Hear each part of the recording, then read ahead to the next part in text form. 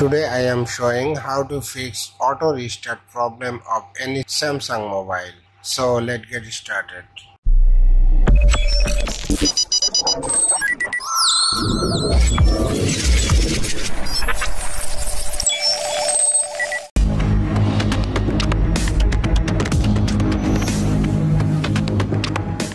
First of all go to the settings.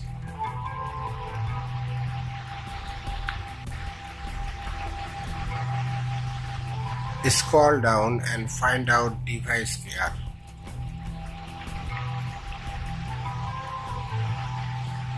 Here is it battery and device care. Tap on it.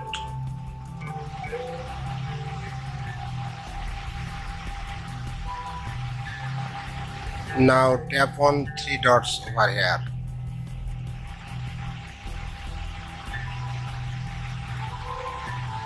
Tap on automation.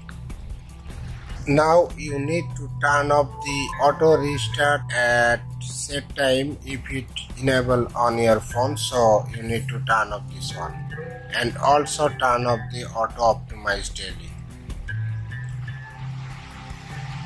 After that I hope your problem will be fixed.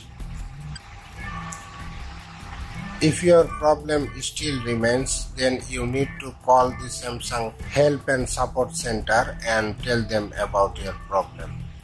Thanks for watching.